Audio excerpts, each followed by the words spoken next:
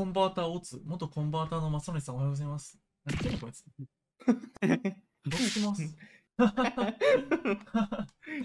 俺はマジで多分ね、一切そういうのないから。今やられた敵かなね、俺も思ったんだよ。今引かれた時かなと思って。どっかで多分引かれたんやろなと思って。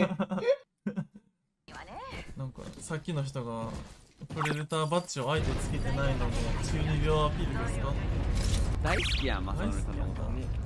えでも、それが、それしっかり分かってるってことは、もうこれ多分本当にやられた人や。確かに。相当悔しがってる。あれ？